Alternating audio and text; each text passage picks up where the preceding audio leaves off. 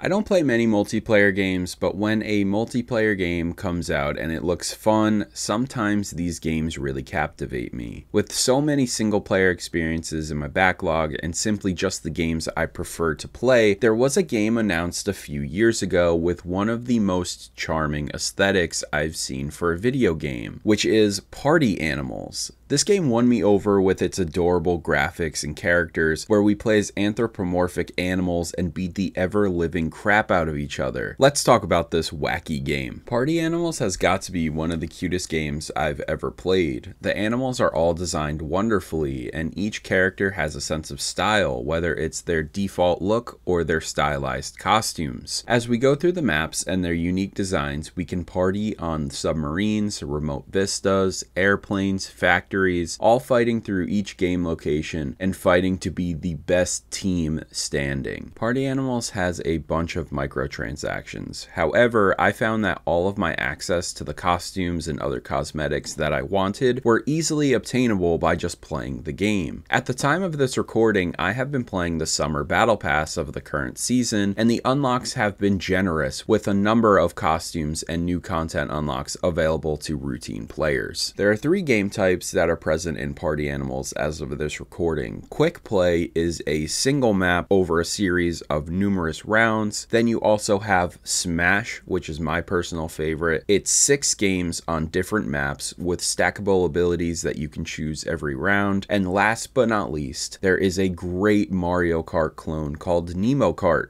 named after the main mascot in Party Animals, which is one map and three laps. The latter two modes have kept me coming back almost daily as I've been so accustomed to log in every day and chip away at the Summer Battle Pass. I don't have much to say negatively about Party Animals. I don't even think the microtransactions are really that big of a deal. However, some days when I play this game, the hits don't always feel like they are connecting. I'm not sure if this is a planned feature, but I've had nights where I was wrecking shop with hits hitting left and right and I was doing awesome. And then there were some nights where I felt like I was doing nothing. Perhaps it was my build in the Smash game type, or maybe it was just my lack of skill in that day, but it was noticed a few times throughout the last couple weeks or so that I've been playing Party Animals. I will also say I really wish there was a local co op mode. I think being able to play this game with my girlfriend or some family members would be a blast a split screen mode where you can just act as a player two or a second team member and wreck shop online with a local co op buddy. I think that would be so much fun, and I really wish that was added in Party Animals. That is probably my biggest disappointment about this game, and the main reason why I didn't purchase it right away. In conclusion, Party Animals is a game I'm so happy to play. I actually planned out a review a year or so ago, but I've never gotten around to it until now, which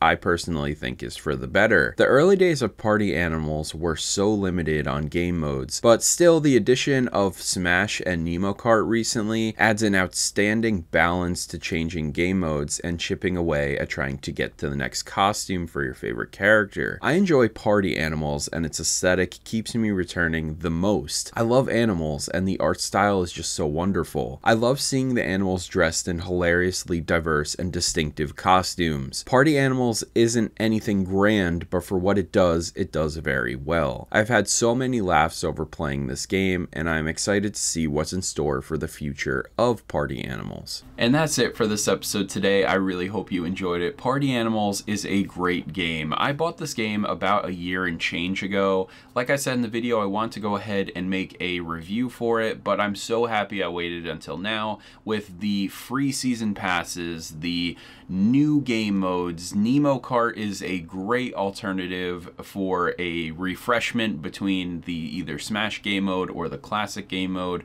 Everything in this game you can get via playing the game. There is microtransactions, but you can go ahead and get all of it just by playing the game and saving. And I don't think I spent a dollar on this game outside of the original purchase of this game.